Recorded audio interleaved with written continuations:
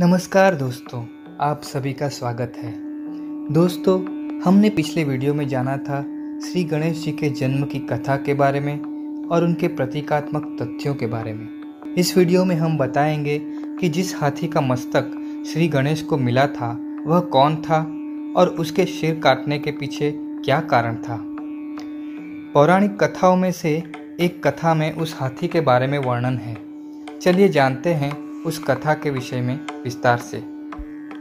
गजासुर नाम का एक दानव था। वह शिवजी का भक्त था। वह हाथी स्वरूप का बलवान दानव था। विशेष वरदान प्राप्त करने के लिए गजासुर ने शिव की घोर तपस्या की।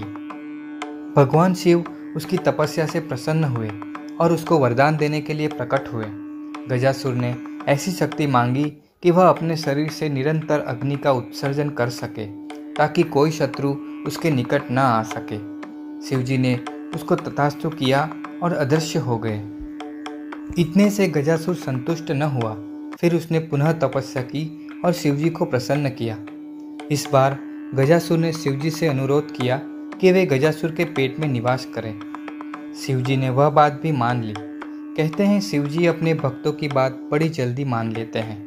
इसीलिए उन्हें भोलेनाथ भी कहा जाता है। कुछ समय पश्चात पार्वती शिवजी को खोजने लगी और व्याकुल होने लगी।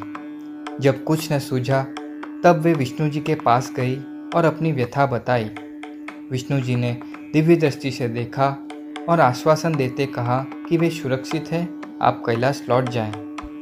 किंतु पार्वती जी ने वह बात न मानी। पार्वती जी ने आग्रह किया कि वे शिवजी को शीघ्र शीघ्र कैलाश पर आने के लिए कहें।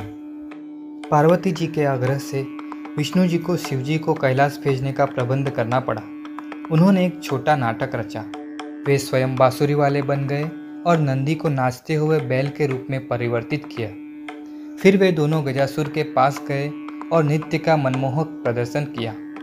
उनका नृत्य देखकर गजासुर अति प्रसन्न हुआ और पूछा कि बताओ तुम्हें क्या चाहिए?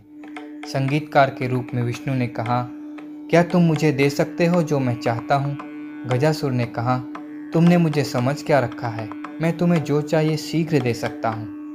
विष्णु जी ने कहा, ठीक है तो फिर शिवजी को अपने शरीर से मुक्त करो।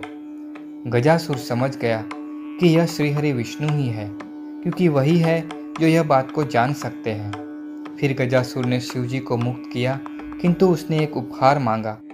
गजासुर ने कहा कि मुझे ऐसा आशीर्वाद दो कि जब मेरी मृत्यु हो, मेरा कोई एक अंग आपके समीप रहे और वह पूजनीय बने। गजासुर को इस इच्छा के लिए शिवजी ने आशीर्वाद दिया। तो इस तरह गजासुर के इस वरदान को पूरा करते हुए जब श्री गणेश का सर कटा, तब गजासुर नाम के दानव हाथी का सर उस पर प्रस्थापित किया गया।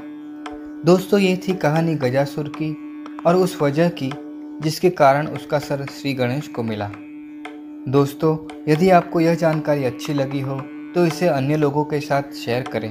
इस तरह के अन्य वीडियो को देखने के लिए डिस्क्रिप्शन में दिए गए लिंक को क्लिक करें।